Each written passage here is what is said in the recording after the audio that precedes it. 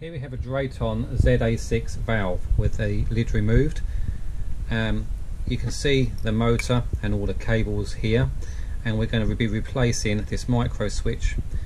To get to the micro switch you remove a screw that you find here and a screw that you find in here.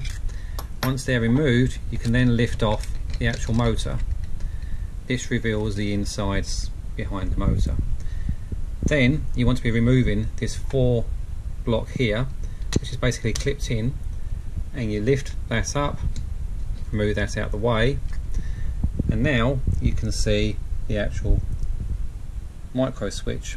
This literally just pops up as you can see like that.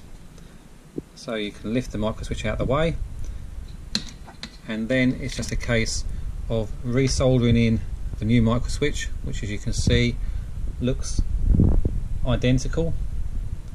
Um, I'll put a link at the bottom of this video to where I bought it. I'm going to resolder that back in and then just do the reverse in putting it back together.